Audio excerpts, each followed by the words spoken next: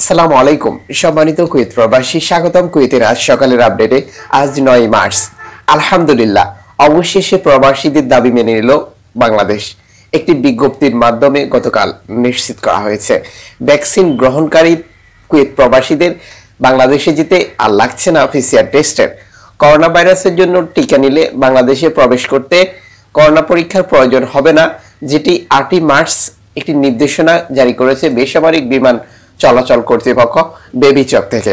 বেবিচকের flight standard and regulation বিভাগের সদস্য Chowdhury M Ziaul কবির স্বাক্ষরিত নির্দেশনায় বলা হয়েছে, বিশ্ব স্বাস্থ্য সংস্থার অনুমোদিত টিকা পূর্ণ ডোজ গ্রহণ করলে বাংলাদেশে প্রবেশ করতে এখন থেকে আর প্রবাসীদের পিসিআর টেস্টের কোনো প্রয়োজন থাকছে না। তবে বলা হয়েছে যে, অবশ্যই সাথে ভ্যাকসিন যে গ্রহণ করেছে সেটির প্রমাণ থাকতে হবে। যেসব যাত্রী এক ডোজ কিংবা কোনো ভ্যাকসিনই গ্রহণ করেননি তাদের বাংলাদেশে আসতে হলে বাহাত্তর ঘণ্টার মধ্যে করোনা পরীক্ষা করে নেগেটিভ রিপোর্ট থাকতে হবে, যেটি আগের নিয়ম অনুযায়ী কার্যকর রয়েছে। বাংলাদেশ থেকে বিদেশ যেতে করোনা পরীক্ষারও বাধ্যবাধকতা থাকছে না ক্লিয়ার করা হয়েছে। যাত্রীরা যে দেশে যাবে, সে দেশের নির্দেশনা অনুসরণ করবেন বিশে ফেব্রুয়ারি থেকে কুয়েতে প্রবেশ করতে পিসিআর টেস্টের প্রয়োজন হচ্ছে না, যারা ভ্যাকসিন গ্রহণ করেছে। কিন্তু বাংলাদেশে যেতে পিসিআর টেস্টের প্রয়োজন হতো। যেটি নিয়ে আমরা প্রতিদিনই আপনাদেরকে ইনফরমেশন দিচ্ছিলাম, আমাদের প্রবাসীরা দাবি জানাচ্ছিল। আমরাও দৃষ্টি আকর্ষণ করছিলাম ঊর্ধ্বতন কর্মকর্তাদের।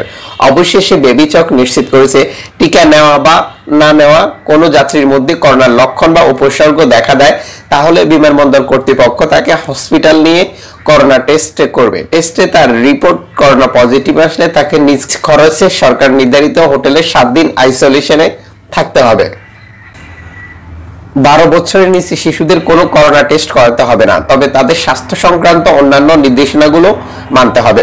নির্দেশনা এয়ারলাইন্স গুলিকে বলা হয়েছে, ফ্লাইটে করোনা আক্রান্ত যাত্রী ধরা পড়লে আলাদা বসার জন্য ছোট আকারের উড়োজাহাজ, শেষের রর সব সিট খালি থাকতে হবে। যেসব বড় উড়োজাহাজ রয়েছে, তিনশো জন যাত্রী ধারণ সক্ষম। সেই উড়োজাহাজ পঁচানব্বই শতাংশ বেশি যাত্রী নেওয়া যাবে না। এছাড়া বিভিন্ন সাইজের এয়ারলাইন্সের জন্য বিভিন্ন নির্দেশনাও যেটি কার্যকর থাকবে। এখন আর কুয়েতে প্রবেশ করতে কারোর পিসিআর টেস্টের প্রয়োজন হচ্ছে না, যদি সে ভ্যাকসিন গ্রহণ করছে। কিন্তু যারা টোটালি ভ্যাকসিন গ্রহণ করেননি, তাদের বাহাত্তর ঘণ্টা পিসিআর টেস্টের একটি বাধ্যবাধকতা রয়েছে। এছাড়া বাংলাদেশের বিমান চলাচল কর্তৃপক্ষ বিবিচক থেকে এটি ক্লিয়ার করা হয়েছে। এখন থেকে আর বাংলাদেশ সরকারের কোনো সিদ্ধান্ত কার্যকর থাকবে না। করোনাকালীন সময়ের এখন থেকে সেটি শুধুমাত্র কার্যকর থাকবে যে দেশে যাবে সে দেশের চাহিদার উপর।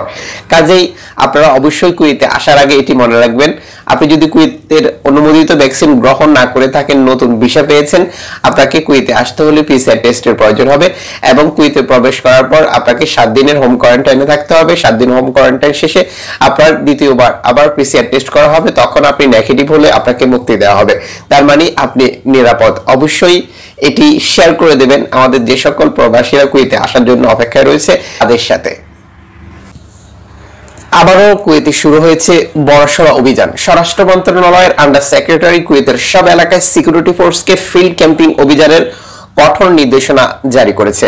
প্রসঙ্গত, স্বাভাবিক জীবনে ফিরে আসার পর পুরো কুয়েত জুড়ে অবৈধ অভিবাসী বা আইন লঙ্ঘনকারী প্রবাসীদেরকে আটক এবং অবৈধ ব্যবসার বিরুদ্ধে অভিযান অব্যাহত রয়েছে।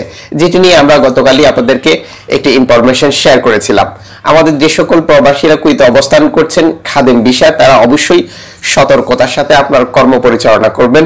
বিশেষ করে আইন শৃঙ্খলা বাহিনীর এই অভিযানে খাদেম বিষাদারী কোম্পানির লোক অথচ বাইরে কাজ করে, দোকানের বিশাল লোক বাইরে পার্ট টাইম করে, এবং অবৈধ প্রবাসী যারা রেসিডেন্সি আইন লঙ্ঘনকারী, এরাও আটক হচ্ছে। এর আগে গত সপ্তাহ আরেদিয়া যে ঘটনাটি ঘটেছিল, এটির পর প্রবাসীদের উপর অনেকটা খেপে বসে আছে সাধারণ কুইতিরা। যেখানে কুইতিরা বারবার দাবি জানাচ্ছে কুইতে প্রবাসীদের সংখ্যা বেড়েছে, অবৈধ সংখ্যা অনেক বেড়েছে, এবং অন্য অনেক অভিযোগ লাইসেন্সবিহীন ব্যবসা পরিচালনা, অবৈধ কর্মকাণ্ডের সাথে মাদকদ্রব্য ইত্যাদি ইত্যাদি।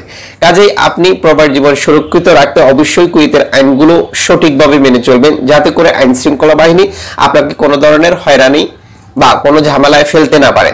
তবে খাদেম বিষাদারীদের জন্য একটি গুরুত্বপূর্ণ ইনফরমেশন সেটি হচ্ছে আপনি আপনার কুইতির সাথে অবশ্যই ভালো একটি আন্ডারস্ট্যান্ডিংয়ে থাকবেন। অ্যাক্সিডেন্টলি যদি কুইতের আইন শৃঙ্খলা বাহিনী আপনাকে বাইরে থেকে আটক করে নিয়ে যায়, সেক্ষেত্রে আপনার কুইতে আপনাকে ছাড়িয়ে আনার সুযোগ পাবে। যদি আপনি সুসম্পর্ক রেখে থাকেন।